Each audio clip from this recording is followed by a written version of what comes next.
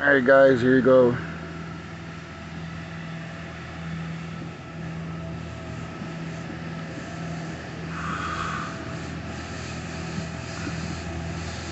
It's been the first time in a while that he came down here today. I'm glad that he did though.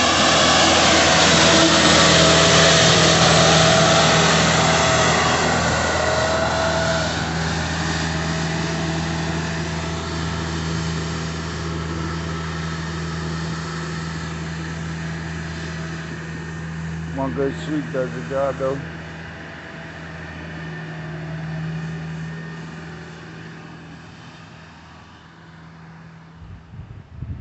See the other results guys.